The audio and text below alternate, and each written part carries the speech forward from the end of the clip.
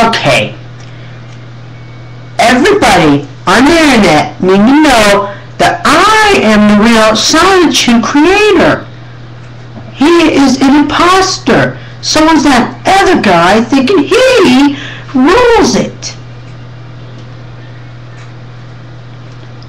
I'm the original creator of Sonichu. I put it on the computer. I am CWC. Get it?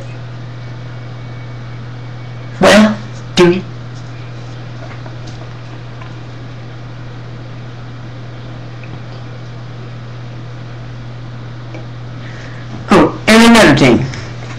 Um, I'm tired of you being imposters. It's just taking up my time. See, I this was the original Sonichu amulet. Original, and they copied it. Yeah. Those fake Ian people. God. This is Christian signing it.